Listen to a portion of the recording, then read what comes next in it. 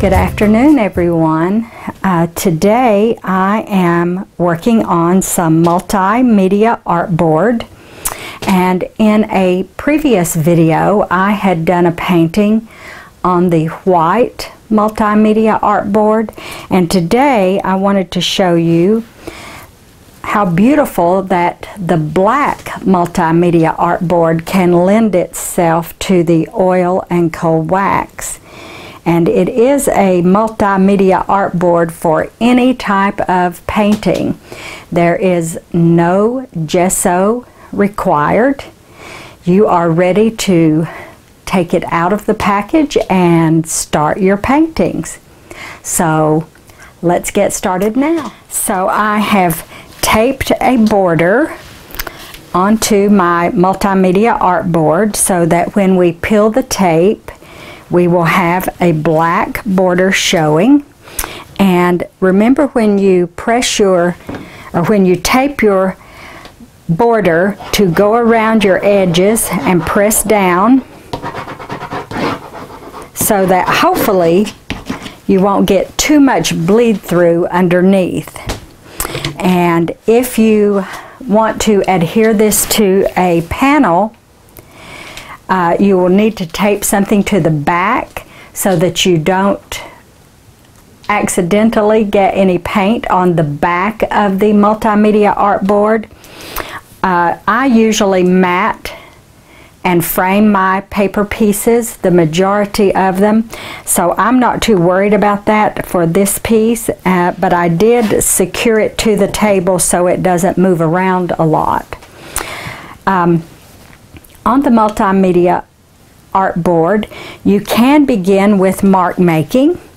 And I love these Marabu art crayons. And they do dry and set up within 24 to 48 hours. But I just want to show you how beautiful they look, they are, they can really add so much. And it may show through what I'm painting and it may not.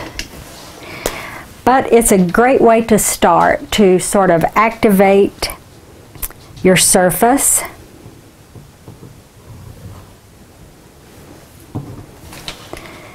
and a good way to begin. Uh, you can also use your ArtGraf carbon discs.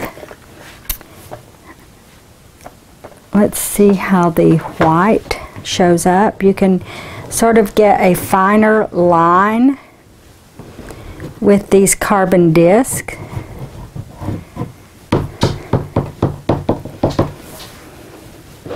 to do some markings but anything that you use to make marks or add your special touches, whether it's in the beginning or throughout the painting or at the end of a painting. Uh, adds something very special to your work. So think about your mark making as you go along. So let's start painting on this black multimedia artboard.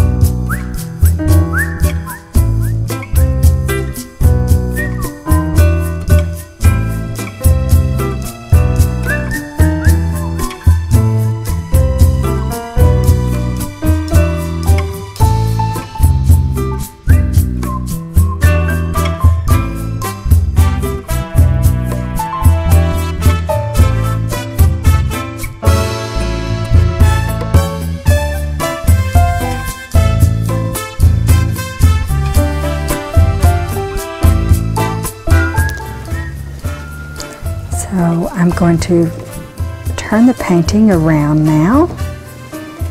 And you can see how beautiful keeping that black border is.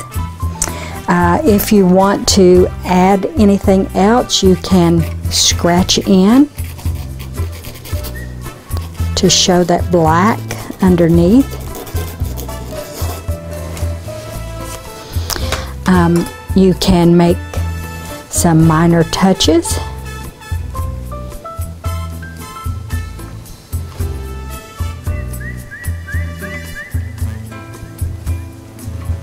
Make things a little more vivid.